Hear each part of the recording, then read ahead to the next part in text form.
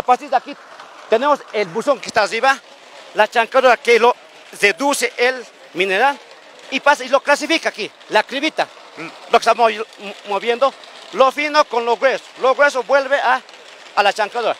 Aquí vemos si, si, nuestro mineral es oxidado o si no, sulfurado. Aquí, gravimetría es agua nomás. Solamente estamos usando el peso del mineral. ¿Cómo decir? Ya, ese es el peso, es más liviano. Esto, lo que es más pesado, es por su densidad. Ya, eso lo concentra.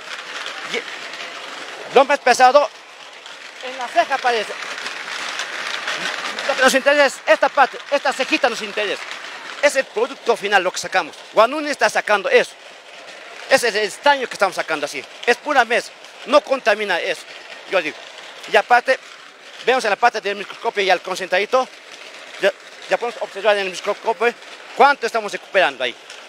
Ministerio de Educación.